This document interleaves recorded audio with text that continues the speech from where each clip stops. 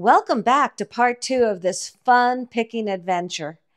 Gary and I are thrifting all over Las Vegas, and at the end of this episode, we're going to have a delicious bite to eat and recap all our finds from this episode and the last one. So sit back, relax, and join the journey. I'm Harlene, and along with my husband Gary and our son Will, we are a family of pickers. We travel the country finding treasures to bring to you. Along the way, we have great adventures. Come along with us. Join the journey on Picker Road. Okay, so now we're in another Goodwill. What do you think, Gary? It looks pretty crowded, huh? Look, look at this piece. Isn't that pretty? It's kind of like a lucite bird. This looks like silver plate. It says it's silver plated and it's made in Argentina. I don't know why I am attracted to that. Well, it's a bird. I kind of really like that. I think I'm going to pick it up. It's calling to you? It is. It's a bird calling to me. Okay. Let's see what else. I'm looking. See a lot of clear glass, as usual. That's just kind of a production piece. And let's keep looking down here. You're up there, so you see lots of glasses. Now let's see if these vases have anything to offer. Looks like we have a, a Scentsy or a candle warmer of a kind. Uh, it's not a Scentsy. I know. It's terribly cracked. Would you like to wear that for St. Patrick's Day? I don't think so. think but thank that's- you. I think that's a negative, correct? You're a good sport, though. You have worn some things. Let's see, what else? This is like the top of some sort of candle warmer, but it's holiday theme. And I'm looking. I don't see anything else on this shelf. Let's turn the corner and see what we can find. Looks like somebody donated their entire bell collection. I like this one though because it's Monaco and Monte Carlo. Well, that one's come a long way. I think that is so fun. Look at Monaco on that. I love that. I'm going to get that. I want to go to Monte Carlo so bad. I think that'd be such a fun place to go. I've heard it's become extremely touristy, but I still think it would be fun. I'm going to get that. I just like Put it. it in the cart. I am. They've also been, of course, to New York City, Virginia, San Antonio, lots and lots of traveling. And this is the little swan pomodoro. You would fill that with, How about Malta? what do you see, Malta? Ah, there we go. Got a bag of shells here. Look at these. I think there's something that you would get like at a seaside town because there's like a net in there. But boy, if you were crafting and you wanted um, to have a lot of shells on hand, that's really nice. We'll leave those for someone else. What Might know these? someone who'd like those for their aquarium. Oh, look at these. These are, um, oh, they're like refrigerator magnets and so forth. Um, there's a pottery one in there. Let's leave that. What is that little? Oh, it's Paperweight? of sorts. I don't quite know what it is. Got a lot of crying kids in here today, don't we, Gary? There we go. Look at this little frog. Ribbit. Let's see what else we have. We have an angel. We have some kind of uh, unpainted busts, unglazed. And look, look down here. Got a fancy schmancy little tray there, the kind that you would find at Home Goods. I like a lot of the Home Goods items.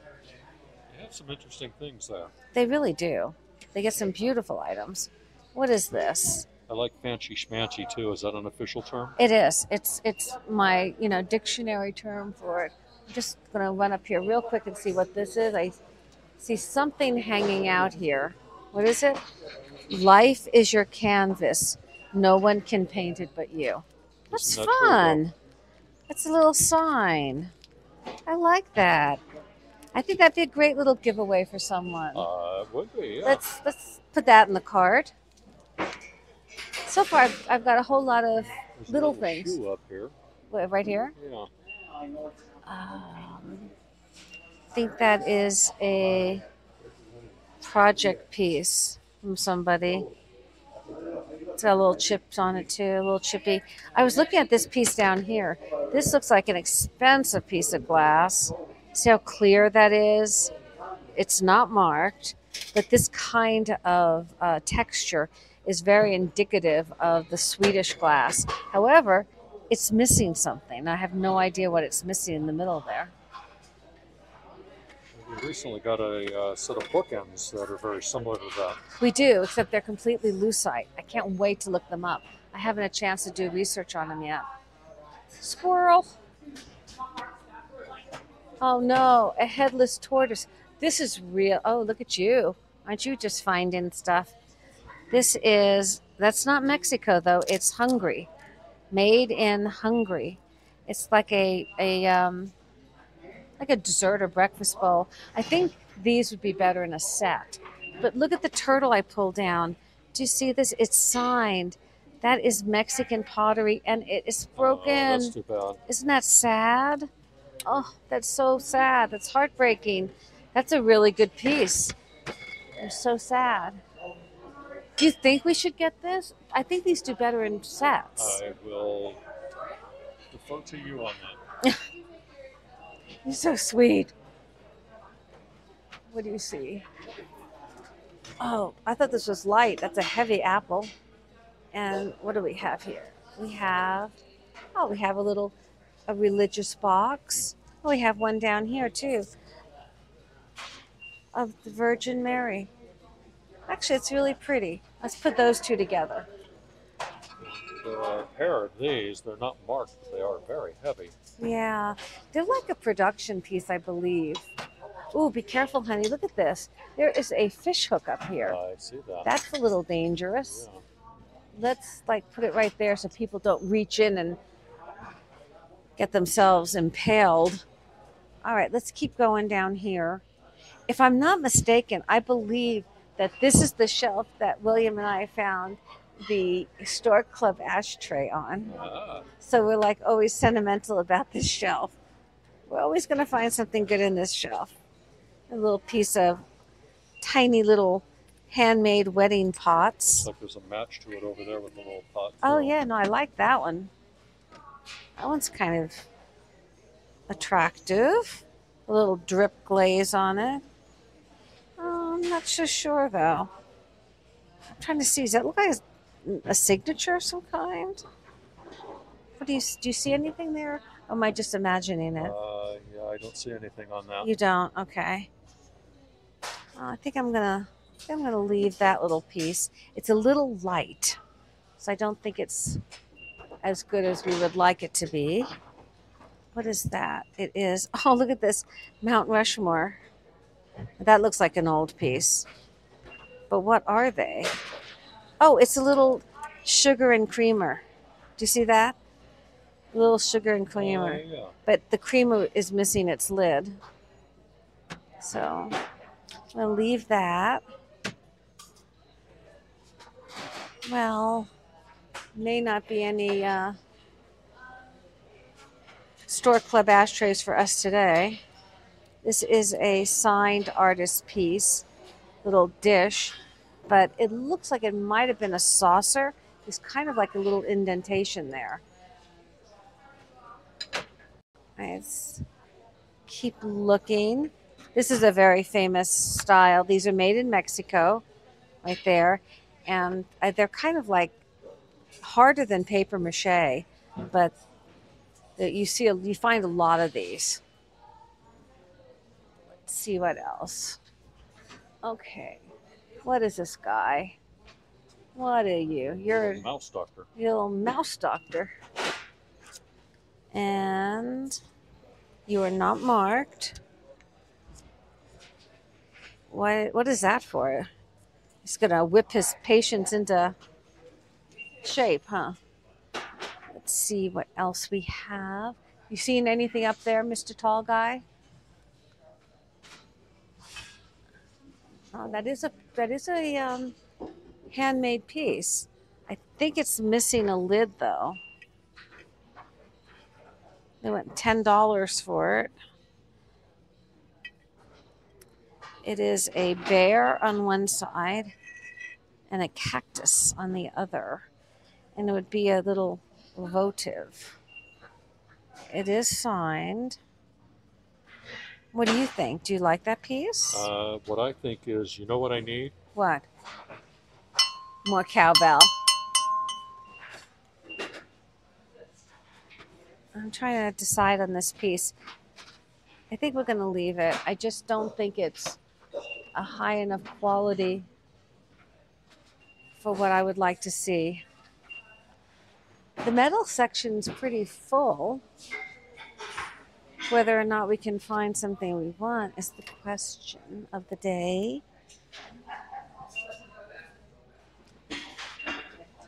This is enormous And that would need a very big shipping box. very, very big. I'm just looking at these leaf dishes. I don't think that they're, oh, yeah, they're very new. Huh. Just thought they were interesting looking. All right, let's keep on going here.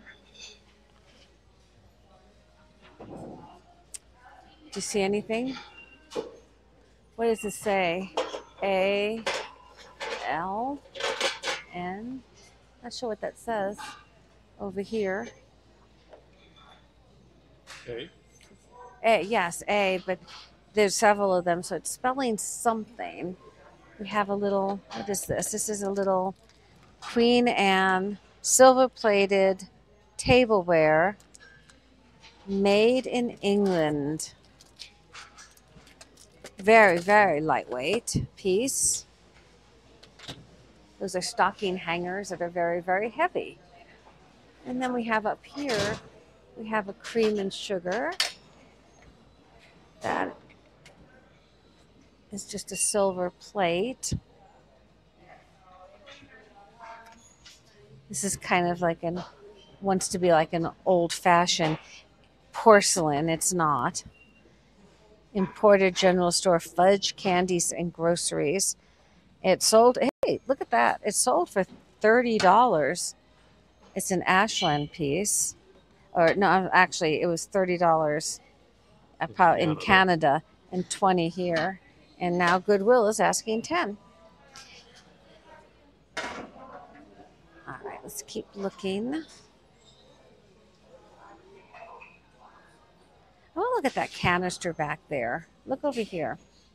I've seen these, and they can sell for a lot of money sometimes. I'm not going to pick it up. Just curious. It's a paw, so it's to keep your your doggy treats in. It's not marked. I know that there's certain ones that are marked that are worth quite a bit of money. I think I'll leave it right there. Maybe somebody will see it and put their doggy bones in it. That's a kind of a crudely made birdhouse. Let's see if there's anything in the wood section. Colorful basket, but it's got a lot of damage in it.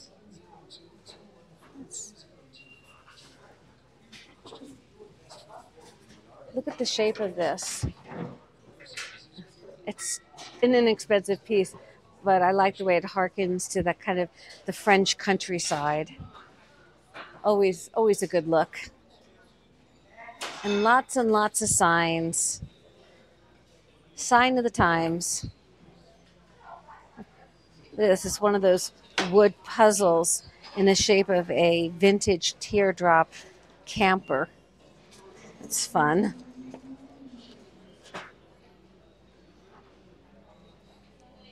Oh, that's a that is a big, big tray.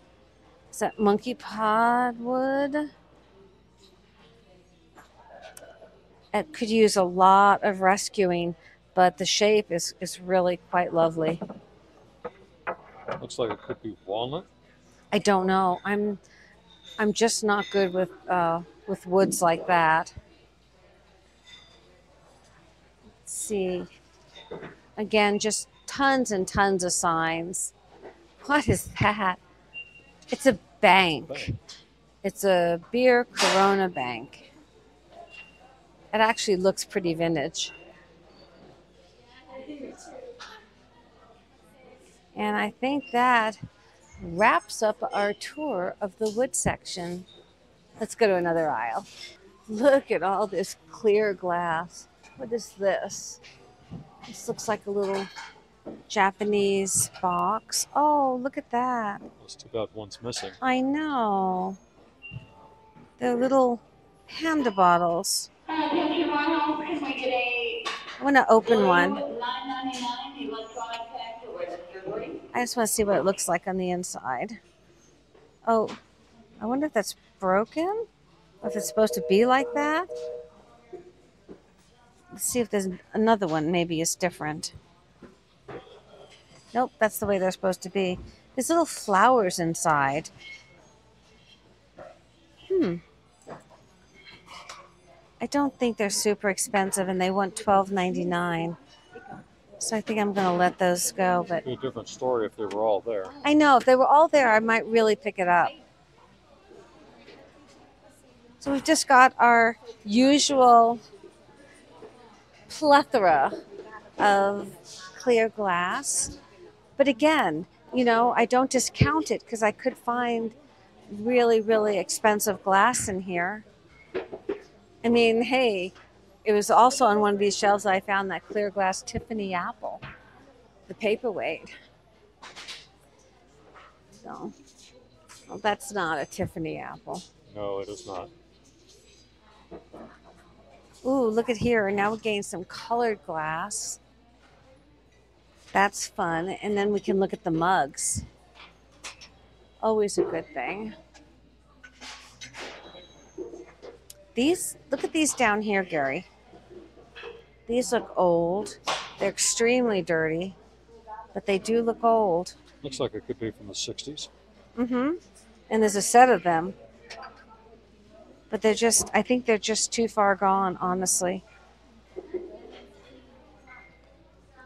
And finally, let's just take a look at the mugs. Again, as always, we are looking for handmade mugs, artisan made mugs.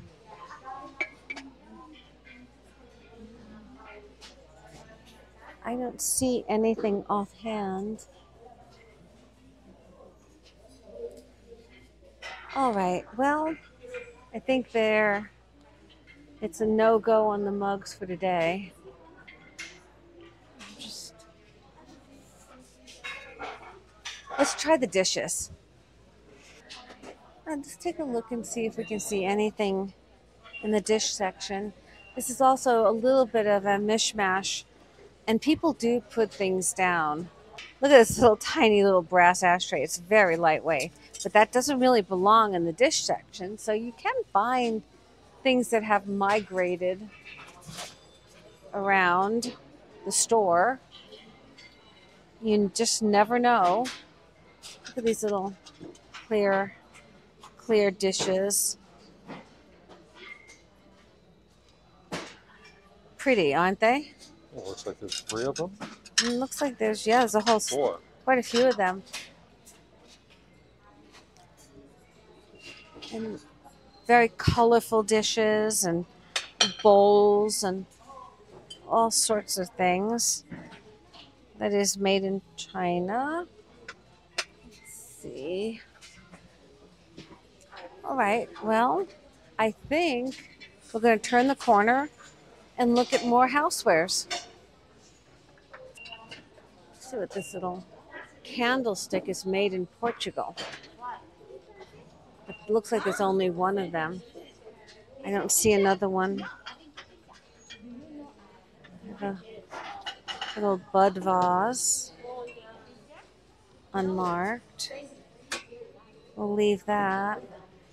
And let's just keep going. Let's keep looking. See what else we find. This looks like a Rae Dunn. It is. Beet. I assume that means eggs. Could that big one be a match to it? Let's see. Uh, it is whisk. Those are nice kitchen bowls. If you like Rae Dunn, those are a good pickup. They're much too heavy to try to ship, but they're nice. What is this? This is a little kind of like an incense burner, perhaps. And down here you have just some older pressed glass and I don't think anything too much to talk about. It's a little sharp up here, not the best quality. What is this? This is a Starbucks. Oh, unfortunately, it's flashed and it's scratched off.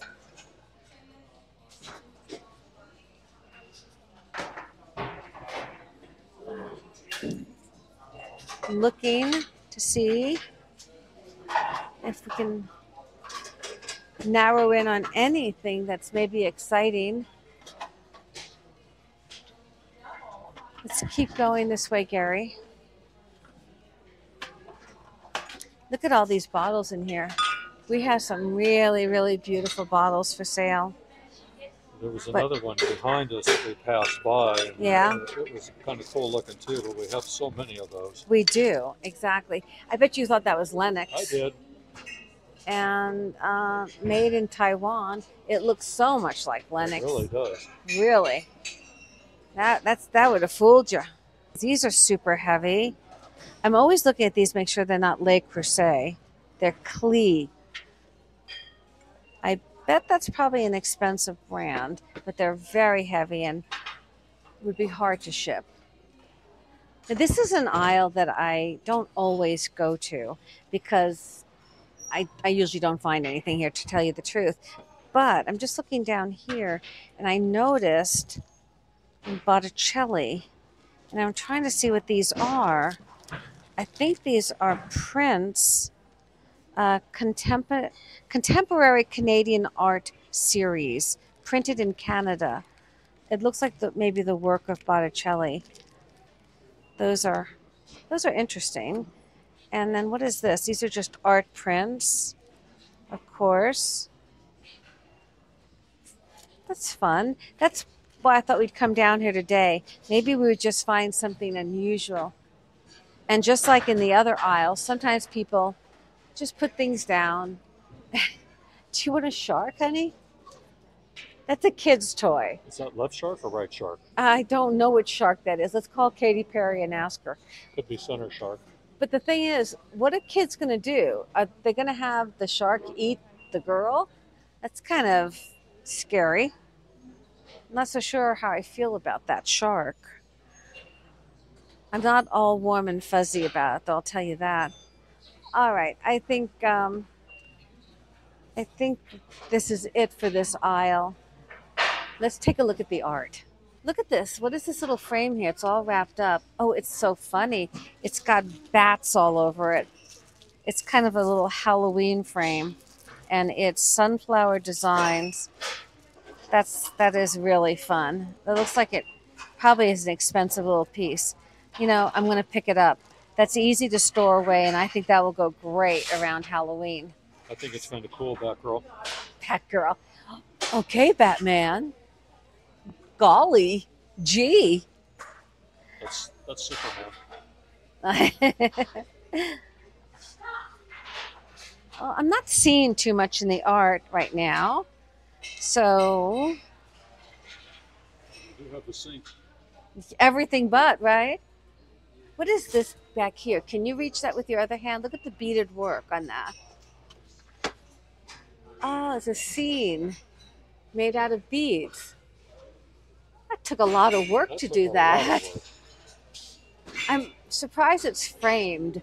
I almost feel like it, it some other way of displaying it might be more interesting.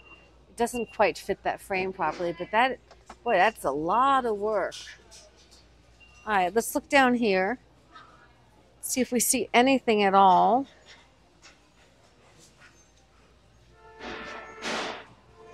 Got some palm trees that I think it used to be a clock and a nice desert scene.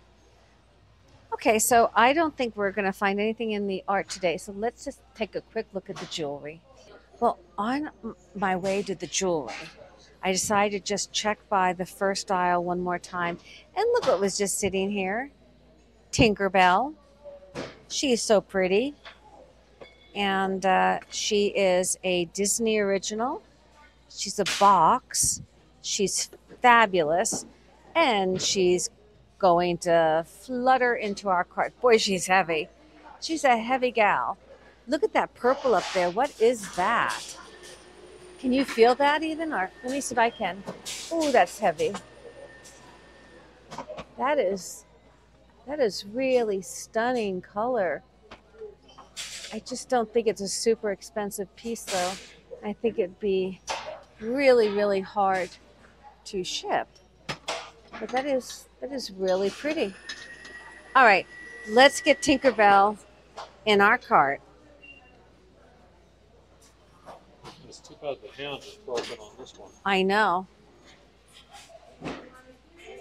Well, Gary, I've kind of taken a good look through the jewelry, and I don't think I see anything today. I'm kind of discriminating on what jewelry I, I purchase, so I think we'll look over there real quick, but I just don't see anything today that passes muster. So we've got some cute little treasures. Let's go check out. After a fun, full day of picking, we're grabbing lunch at Cafe Rio. This restaurant has locations all over Vegas and always looks appetizing. While we enjoy our delicious Mexican lunch, complete with dessert, let's recap today's finds.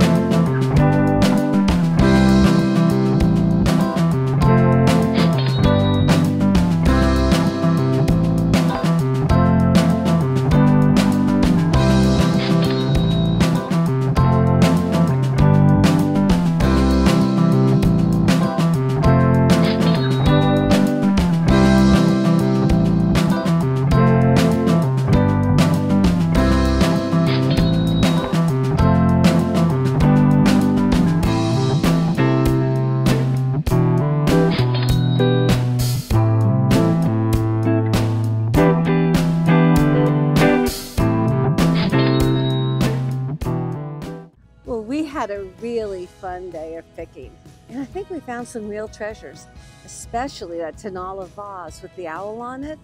He's a real hoot. And we had a delicious south of the border lunch. If you haven't already, please subscribe to our channel. It's absolutely free. Leave us a comment, give us a like if you had some fun, and please share our channel with your friends and family. It helps us grow, and we want everyone to join the journey.